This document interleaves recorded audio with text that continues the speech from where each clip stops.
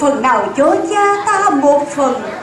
Lo lắng cha ơi bao ngày là